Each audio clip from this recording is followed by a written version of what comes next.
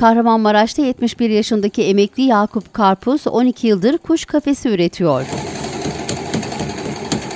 Tarihi Demirciler Çarşısı içerisinde 12 yıldır kuş kafesi yapıp satan 4 çocuk babası Yakup Karpuz, emekli olduktan sonra sağda solda gezmek yerine hem mesleğimi yapıyorum hem de ekmek paramı kazanıyorum dedi.